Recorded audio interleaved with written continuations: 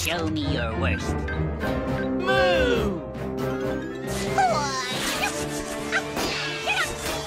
Let's get out of here. Use the cowboys! Moo! Not so fast, you bovine batty. Uh-oh. It was just a costume. Herbert and Wally, how could you? Well, Well, why don't you just eat the cheese instead of shooting it at people?